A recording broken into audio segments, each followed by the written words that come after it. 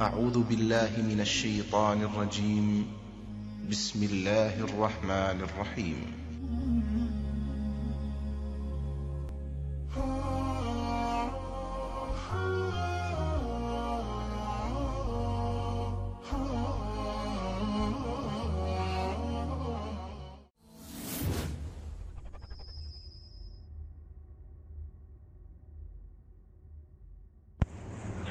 ওয়ালাইকুম আসসালাম রহমতুল্লাহ।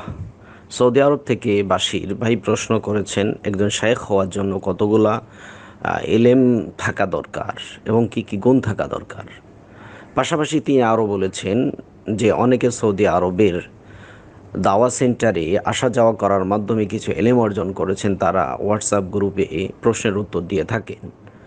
অন্যদিকে মাদ্রাসা পড়ুয়া কিতাব পড়ুয়া অনেকে রয়েছে মাঠে ময়দানে ওয়াজ করে, কিন্তু তারা প্রশ্নের উত্তর দেন না। সুতরাং এই বিষয়টি সম্পর্কে তিনি পরিষ্কারভাবে জানতে চাচ্ছেন। সম্মানিত ভাই, শেখ শব্দটা আরবি ভাষায় দুভাবে ব্যবহৃত হয়। একটি হচ্ছে শেখ দ্বারা বোঝায় কেবারসিন অর্থাৎ যাদের বয়স বেশি হয়ে গেছে, বয়সের কারণে চুল পেকে গেছে। অর্থাৎ বেশি বয়সের কারণে চুল পেকে গেছে, এদেরকে শায়েখ বলা হয় বয়স বেশি হওয়ার কারণে। আর দ্বিতীয় শায়েখ হচ্ছে শেখুন ফিশরিয়া ইসলামী শরিয়াতের শায়েখ। এই শায়েখ হতে হলে ইসলামের অনেক জ্ঞান তার ভিতরে থাকতে হবে। তার জ্ঞান যখন বেড়ে যাবে ইদাক্কা জ্ঞান যখন বেড়ে যাবে ও শাহিরুন। ফিল উম্মাহ এবং মানুষের মাঝে তার সুনাম, সুখ্যাতি সব জায়গায় ছড়িয়ে পড়বে, তার এলেমের মাধ্যমে, তার জ্ঞানের মাধ্যমে মানুষ উপকৃত হচ্ছে। এমন ব্যক্তি যদি অনেক এলেমের অধিকারী হয়, তাহলে তাকেও শায়েখ বলা হয়। মানে ওখানে যেমন বেশি বয়স হওয়ার কারণে শায়েখ হয়ে যায়, আর এখানে বেশি জ্ঞান হওয়ার কারণে সে শায়েখ হবে। এখন যারা দাওয়া সেন্টারে যাওয়া আসা করছে, লেখাপড়া করে না একাডেমিক্যালি অথবা তার কোনো গভীর কোনো স্টাডি নেই, সে তো প্রশ্নের উত্তর দিতে পারবে না। কারণ একটা প্রশ্নের উত্তর দিতে গেলে অনেক কিছু জিনিস জানা থাকা লাগবে, কিতাব বোঝা লাগবে, আর সেই কিতাবটা বুঝতে হবে আরবি ভাষায়।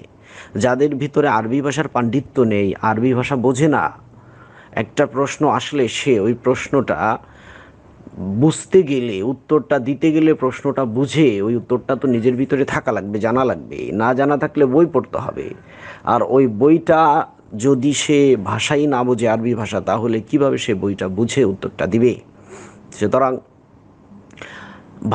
প্রশ্নের উত্তর দিতে গেলে অথবা কোরআন ও হাদিসের আলোচনা করতে গেলে ন্যূনতম পক্ষে তাকে আরবি ভাষা জানা থাকা লাগবে। যেই ভাষাটা শুধু মৌখিকভাবে কথা বলা নয়, কিতাব দেখে পড়ে, বোঝা, বিশ্লেষণ করার যোগ্যতা তার ভিতরে আছে।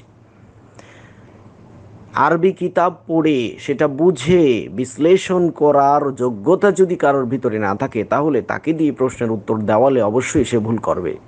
অবশ্যই সে ভুল করবে, সে প্রশ্নের উত্তর সঠিকভাবে দিতে পারবে না, আর তার থেকে মানুষ ভুলটাই শিখবে। সুতরাং যারা দাওয়া সেন্টারে যাওয়া আসা করে, তারা তো ছাত্র।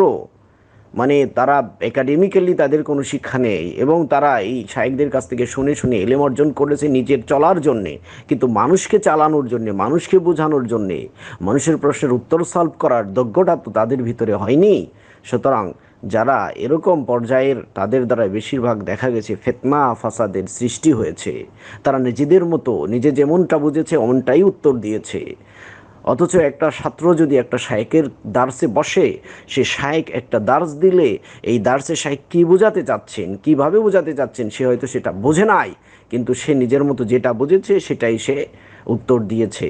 আর নিজে ভুল করেছে, অপরেও এই ভুলের শিকার হয়েছে। সুতরাং যাদের ভিতরে জ্ঞানের গভীরতা রয়েছে, যারা আরবি ভাষা নিজে বুঝেন, ব্যাখ্যা বিশ্লেষণ সব কিছু বুঝেন। আরবি ভাষার গভীরতা তাদের ভিতরে রয়েছে। ফেখা সম্পর্কে তাদের জ্ঞান রয়েছে। শরিয়াতের বিভিন্ন বিষয়ে তাদের জ্ঞান রয়েছে। হাদিস বুঝে, কোরআনের তাফসির বুঝে। এরকম জাননেওয়ালা, গভীর জ্ঞানের অধিকারীকে শায়েক বলা যেতে পারে। আর এরাই একমাত্র কোরআন এবং হাদিসের প্রশ্নের জবাব, প্রশ্নের সমাধানের জন্যে তারাই কাজ করতে পারবে। আশা করি বুঝতে পেরেছেন।